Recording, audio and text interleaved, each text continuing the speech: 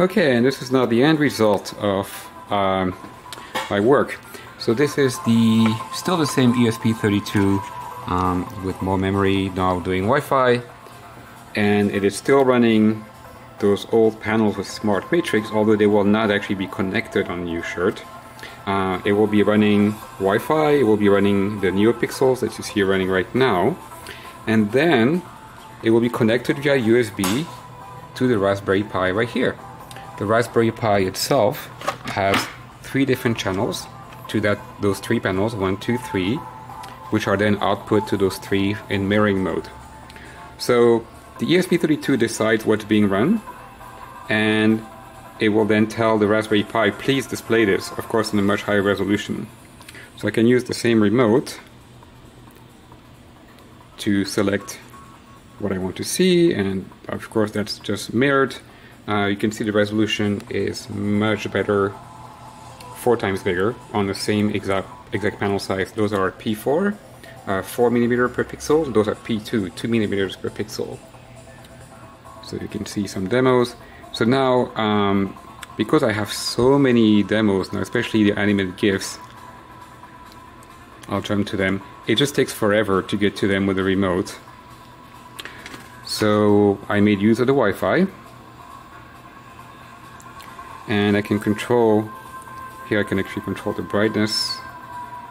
Here um, I can say next which is not that useful because I could, I could do that.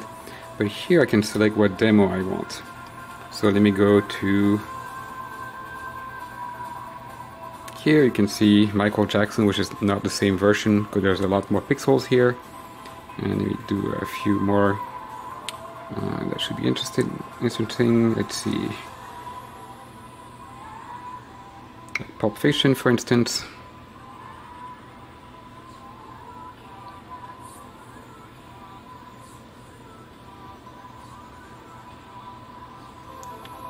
And then some demos are just different because the resolution is not, uh, sorry, there's not the same collection of uh, GIFs on both.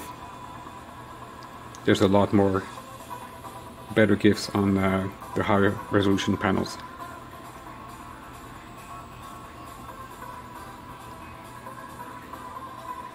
So if you look close, I mean, you can see the difference. Uh, from a distance, it might not be visible for every demo. So let me uh, pick some other ones a little bit better.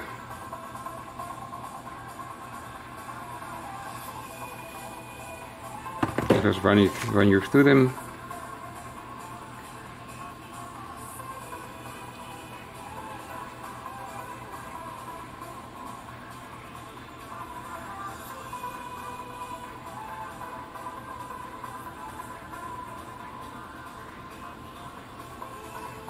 So those are the panels I'm going to be wearing. That's the panel I used to be wearing before. And as shown as the previous demos, uh, I've been writing all this on my Linux PC, which is running the exact same code in the Raspberry Pi. And I can use the same web browser here to control. So if I say next, I can also control it that way. So there you go. Uh, there's a little bit more few more details to take care of, but that's pretty much it. I hope you'll be able to use it on Dance Force soon.